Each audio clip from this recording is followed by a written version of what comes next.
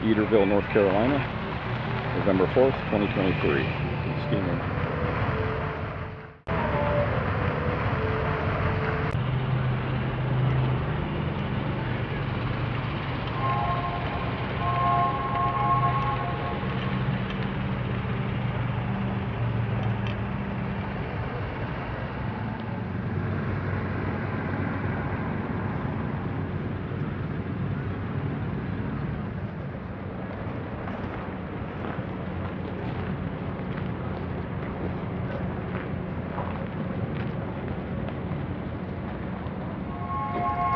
This is an international 1066 Farmall tractor.